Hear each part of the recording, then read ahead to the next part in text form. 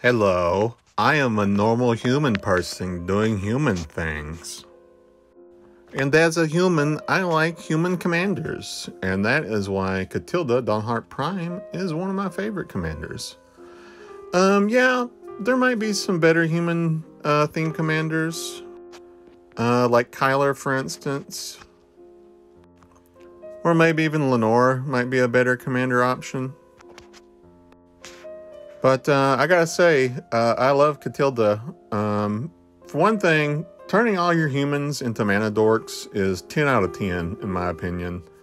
Uh, when I run this deck, I don't even put like mana rocks in it. I just I just rock out with humans tapping all over the place for mana. And I don't know, I just playing with a human deck, I just find fun. Uh, I take cards like my rail and uh, just uh, have fun with them. Uh, Adeline's another big hitter in my humans deck.